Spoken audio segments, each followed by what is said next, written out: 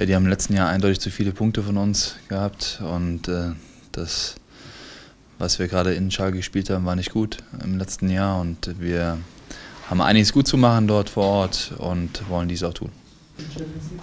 Ja, jetzt nach dem Spiel in der Champions League ähm, steigt das Fieber von Tag zu Tag und ähm, ja, am Samstag wird natürlich dann auch wieder ein absolutes Highlight auf Schalke in Gelsenkirchen und äh, die ganze Mannschaft freut sich auf dieses Derby, speziell unsere Freunde, äh, unsere, unsere Fans und äh, dementsprechend äh, wollen wir denen auch ja, ein nettes Bonbon auch schenken und äh, versuchen auf Schalke dann auch zu gewinnen. Nein, keineswegs. Ich denke, dass es sehr angenehm ist.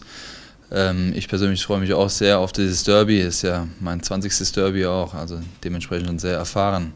Ich weiß genau, was da äh, von mir verlangt wird. Und ähm, ja, es ist wichtig, von hinten raus auch Ruhe auszustrahlen, das auch meiner Mannschaft mitzugeben, dass wir uns wirklich nur auf das Sportliche fokussieren, dass wir uns nicht ablenken lassen und dass wir dann auch eiskalt zuschlagen. Ja, die haben natürlich mehr gut zu machen bei ihren Fans. Ne? Und äh, wir haben ja durchweg die letzten Jahre sehr erfolgreich Fußball gespielt.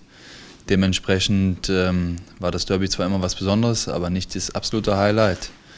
Und ähm, ja, wir wollen aber dennoch äh, auch unseren Fans da den Sieg schenken und wollen alles dafür geben.